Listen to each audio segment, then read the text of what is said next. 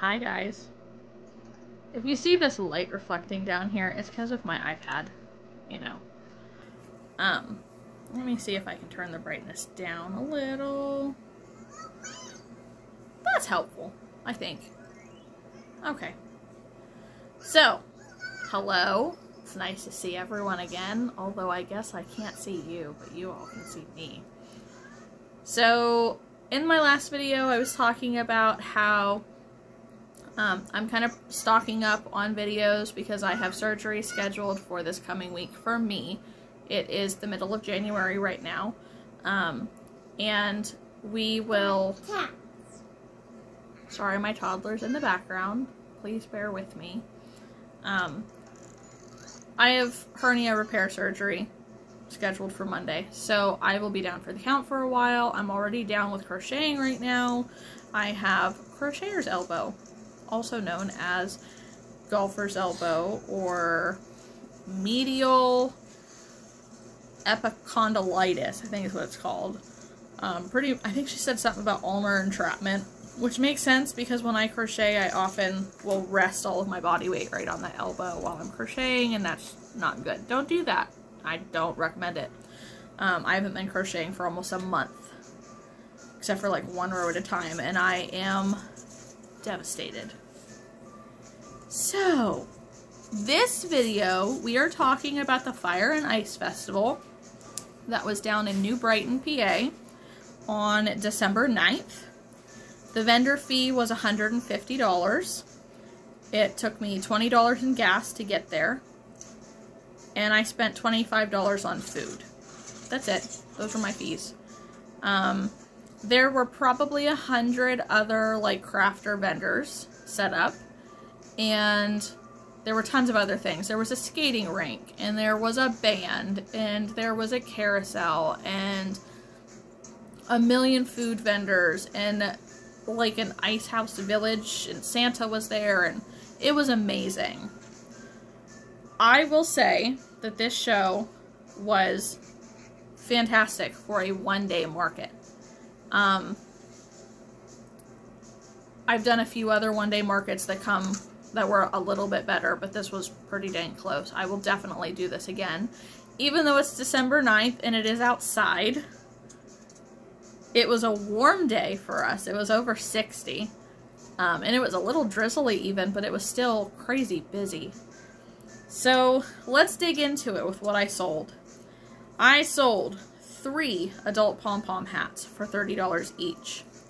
Two sets of fingerless gloves for $20 each one for pom pom on a keychain, five small Tank the Turtles for $10 a piece. Oh, the pom pom was $2. Um, one messy bun hat for $20. Three small possums for $15. One slightly bigger Tank the Turtle. I made it in Parfait Chunky instead of Bernat Velvet yarn. Um, and I sold it for $15 three Triceratops for $15, one kid's hat for $15, two Poppet mushrooms um, for $18 each, two Poppet mushrooms for $20 each. The price difference there is also the difference between Bernat Velvet and Parfait Chunky. They're slightly bigger. Um, one kid's ear warmer for $8, one larger axolotl for $20, one pickle for $20. Both of those are about 6 inches. Um, two medium axolotls for 25 Hmm.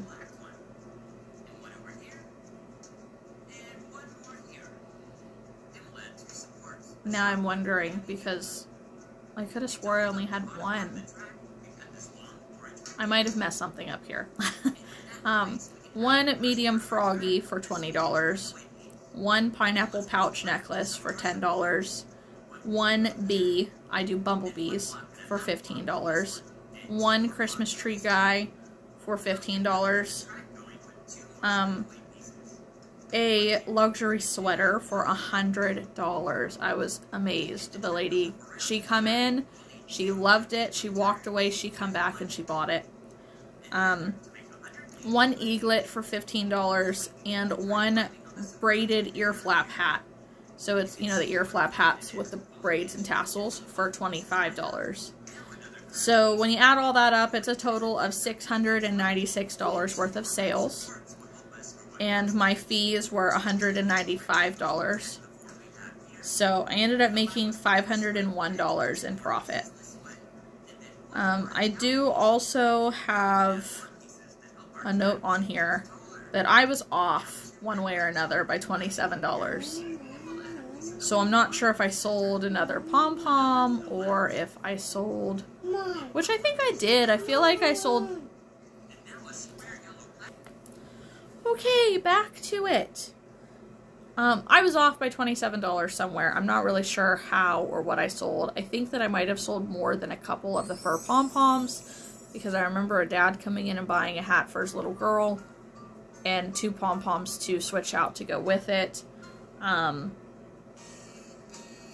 that $25 axolotl.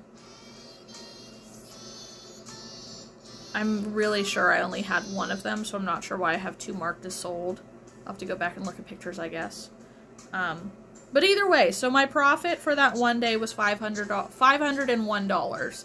Um, I am more than happy with that. It's at my day job as a CNA, I make around $140 in a day before taxes are taken out of it. So, and that's a 10 hour day. Um, so I cannot complain at all with that. That's what, four times what I make, roughly.